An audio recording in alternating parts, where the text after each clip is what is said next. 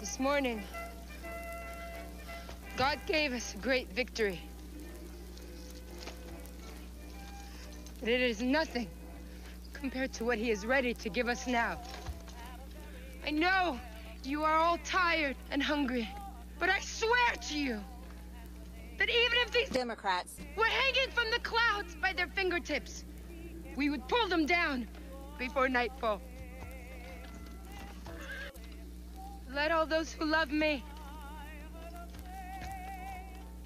follow me! Follow me! In a world where tyranny runs unchecked, Marjorie Taylor Greene of ARC is here to set the record straight once and for all.